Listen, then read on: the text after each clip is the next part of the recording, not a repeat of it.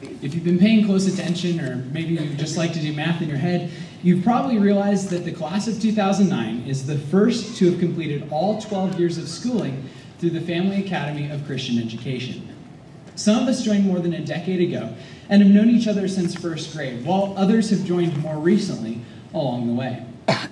Friends both old and new are graduating here together as a testament to our academic accomplishments and the experiences that we've gathered along the way. As this chapter of our lives draws to a close, another opens, one which holds adventures and challenges that we must tackle.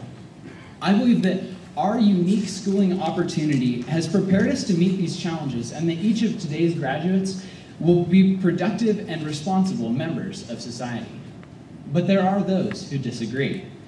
In America, we've been blessed with many liberties, including the freedom to choose one's education. However, many are not so lucky. In Germany, homeschool families have been fined thousands of dollars, had custody of their children taken away, and even have fled the country in order, because of their government's draconian regulation of education. Homeschooling has been declared illegal, and the duty of education has been usurped from the parents and given to the state's dictate.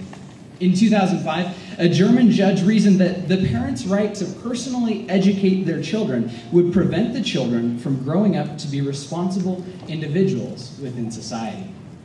Based on the German judge's comments, I don't think he's had much interaction with homeschool students. Of course, this isn't the first time in German history that homeschooling and freedom of education has been eliminated. One of Adolf Hitler's first actions in power was to take control of all educational institutions and issues. But our American freedoms don't shelter us from criticism. After being homeschooled all my life, I've gathered some observations for those of you who might not be familiar with homeschooling. And I'd like to share some of those observations with you today.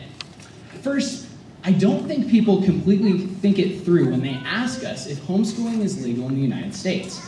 If it is, and it is, it's insulting to imply that we're criminals. And if we're criminals, would we openly admit it to curious passerbys?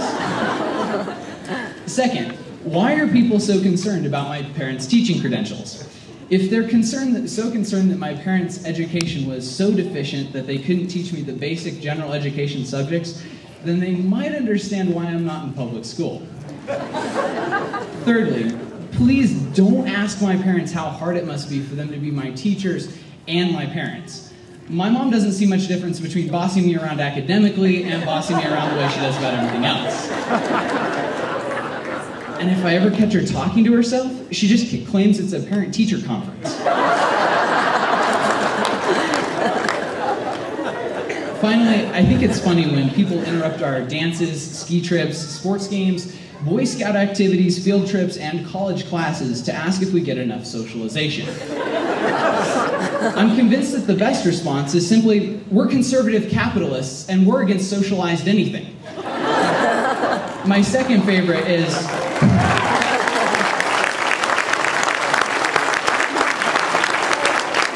My second favorite is we're training him to like isolation so that he can become an astronaut.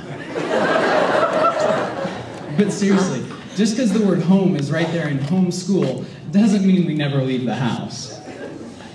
Before I conclude, I do want to thank the sacrificial, hardworking, and unsung heroes, our homeschool parents. Yes, the same homeschooling parents who think that words like controlling, stern, and authoritarian, words usually ascribed to Soviet Russia, are positive adjectives. now, it's in every parent's instinct to be protective. It is. But homeschooling parents take it to a whole nother level. I like to call this phenomenon the angry mama bear gene. You know you have it. After 12 years, I know you have it. But I think it's this attribute of our parents that has brought us to this point and has prepared us for success. Thank you, moms and dads, for caring so much about us that you've sacrificed years of your lives to enrich ours. Thank you for never giving up on us and for sticking by us, even when we didn't deserve it. Most of all, thank you for instilling us with important values that will last a lifetime. Thank you for equipping us to become responsible and productive members of society by exercising your right to choose how we were educated. With these values in hand, we will enter the world the world to become the salt that will flavor the next generation and a light to our culture. Thank you.